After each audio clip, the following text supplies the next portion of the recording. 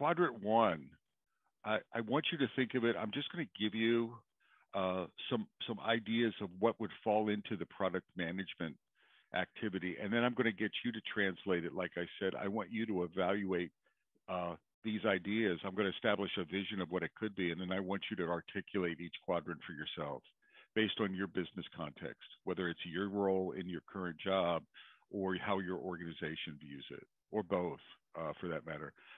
It's champion, so it's championship, it's evangelism is part of the what I think of as product management. Uh, I said it earlier. Establish the vision for the product. Uh, this is the land of MVPs, minimal viable products, minimal viable releases, minimal minimal viable everything.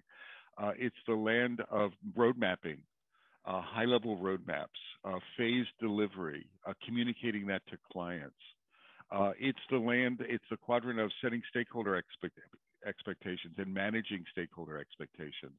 Uh, this is internal and external stakeholders. it's the land of providing, if you're in that, if you're in an organization that that wants it, of business cases and ROI charts and things like that, and measurement. How are you going to measure success?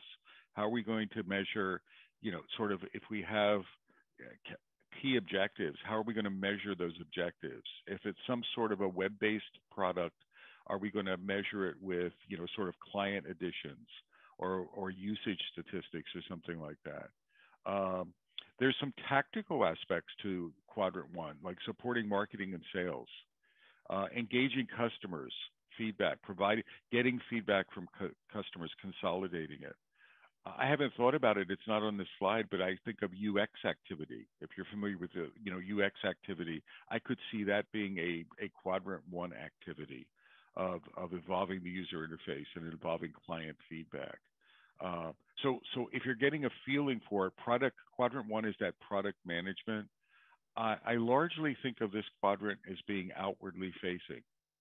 Uh, that doesn't mean it ignores the team. There's an interaction and a collaboration, but it's probably 80% of the quadrant one activity is outward, outward in the organization, outward to clients, outward to the marketplace, uh, outward to the sales team. If you're familiar uh, with the pragmatic marketing, a, a lot of people in Agile, I think, miss, you know, or underestimate product management traditional product management or product marketing.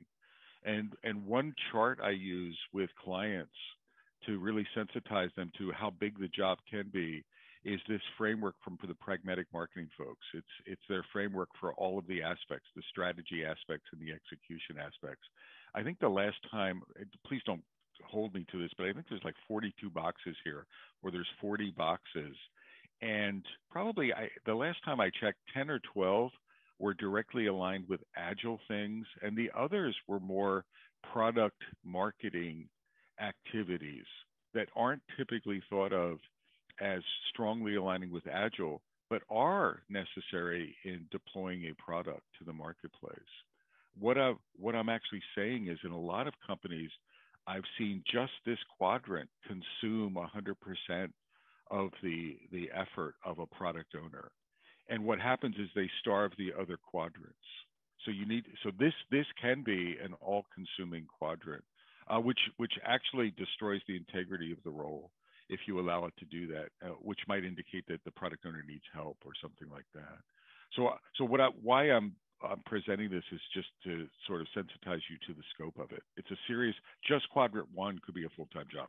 Just just quadrant one uh, could is is critical to the success of the product. Uh, but but not a lot of product owners sort of in the real world look at it that way. So what I want you to do is I, I'm going to pause now for just maybe a minute, and I want you to think about the way I framed quadrant one, uh, and I want you now to think about your product owner role, personally, in a group, or in your company, or all of that and I want you to start making a list of quadrant one activities for you. What does quadrant one look like for you? And then the second thing I want you to do is is sort of put on your your you know your guesstimate hat and figure out how much of your time uh, is spent on average? If it's a group, what is the average time? To 10% uh, increments. So list your quadrant one activities in the real world for you. What kinds of stuff do you do in that quadrant? And then approximate, hey, I spend 30% of my time there. Or we should, you know, our group spends roughly 30 to 40% of our time there. So capture that. So I'll give you a minute to think about that.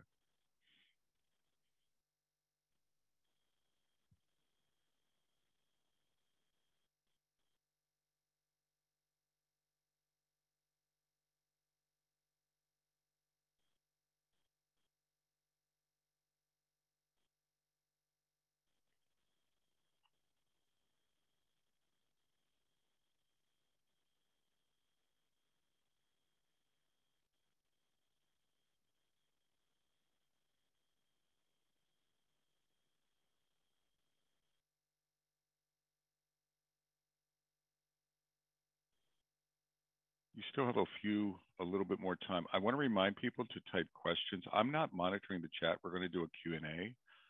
So it's never too soon to start typing questions and We'll probably go first come, first served. So if you have questions, you can, you know, hold them to the end, but, you know, you can also throw them in there now.